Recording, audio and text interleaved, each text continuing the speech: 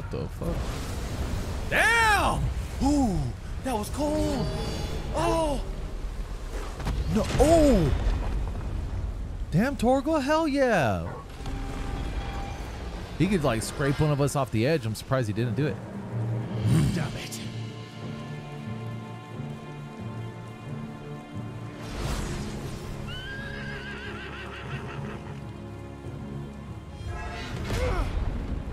Come on. Oh, there it is. Oh. He's pissed. We pissed him off now for sure.